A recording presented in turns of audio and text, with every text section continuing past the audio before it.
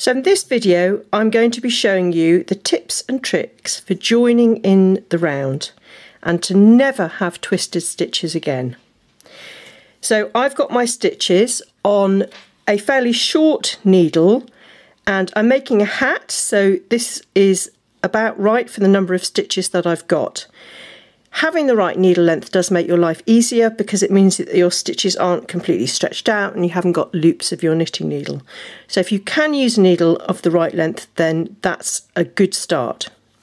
Then what you want to do is to distribute your stitches fairly evenly with a few loaded up here at the front where you're going to be working and all around the needle.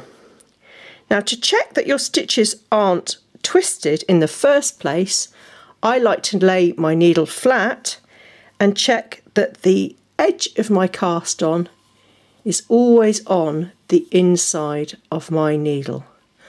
Let's zoom in a little bit close, closer for the next part where we're joining the round. I have got my uh, stitches with the cast on edges here on the inside and that's true all the way around and that's what we want to maintain. So then what we want to do is simply start working into our first stitch. Now some people join by slipping one over or knitting two together but I want to do this join without doing any of that and just simply start working my stitches and I want to do that because I'm knitting an alternating cable cast on and I want my first stitch to be a knit stitch and also because by not working two stitches together at the beginning you leave yourself an opportunity to correct any twists and I'll show you how that works. So let's just begin working into our first stitch. Now it's a good idea that when you work into your first stitch, work into it and then snug your yarn quite tightly. And then my next stitch is a purl, so I'm going to work that. And again, snug your yarn up a little bit tightly.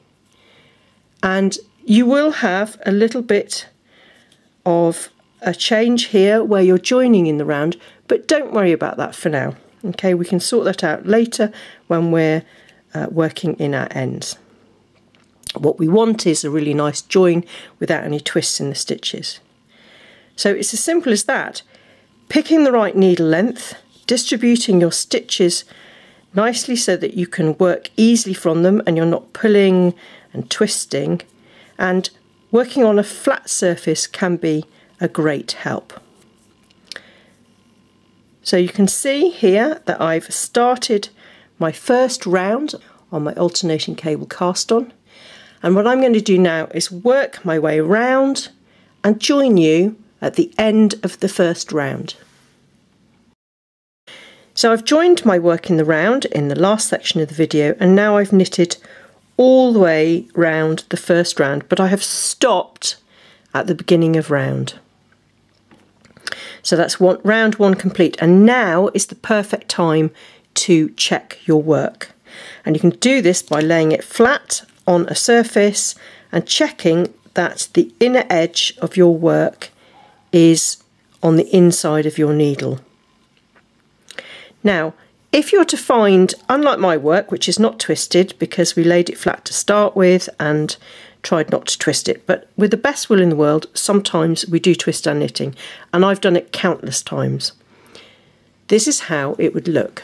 So here we are, zoomed in a little bit to see the twist in our work. You can see the cast on going from the inside over the top of the needle and back to the inside here. And this is a twist in our knitting. And what you simply need to do is pull your twist as far to the front as you can and you will see then that if you simply duck your needle under the twist will be gone. You can do that because you've done it at the end of round one before you've started round two and the twist is just in this single piece of yarn here. What you'll also notice though is that now your working yarn is in the wrong place and so the final thing you need to do is to take your ball of yarn through your work so that you're now back into a position where your cast on is nice and flat on your needles and that your working yarn is at the back of the work where it should be. That undoes the twist in your cast on and instead of ripping back you can now just carry on. If you found this tip useful please like the video and consider subscribing. Happy knitting!